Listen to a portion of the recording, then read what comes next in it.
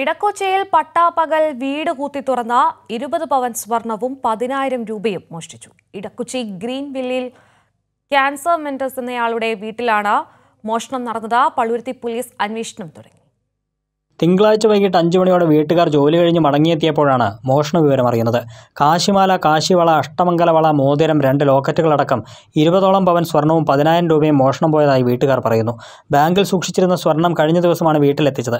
വീടിന്റെ ഗേറ്റ് പൂട്ടിയിരുന്നതിനാൽ മതിൽ ചാടിക്കടന്ന് വാതിൽ കുത്തി തുറന്നാണ് മോഷണം നടത്തിയിരിക്കുന്നത്.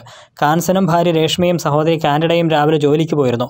മൂവരും വൈകിട്ട് ജോലി കഴിഞ്ഞ് മടങ്ങിയെത്തിയപ്പോഴാണ് വാതിലിന്റെ പൂട്ടുപൊളിച്ച നിലയിൽ കാണുന്നത്. ഇവരുടെ പരാതിയിൽ പള്ളുരുത്തി പോലീസ് സ്ഥലത്തെത്തി അന്വേഷണം ആരംഭിച്ചു.